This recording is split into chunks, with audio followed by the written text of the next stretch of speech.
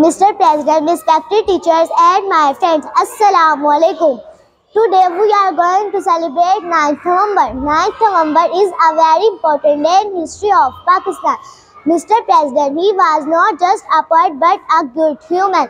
A great poet named Alama Muhammad Iqbal was focused on Khudi. His translated into many languages खुदी को कर बुलंद इतना कि हर तकदीर से पहले खुदी को कर बुलंद इतना कि हर तकदीर से पहले खुदा बंदे से खुद पूछे, बता तेरी रजा क्या है मिस्टर प्रेज His died near 1938. Is buried near Bachai Masjid in Lahore. Thank you.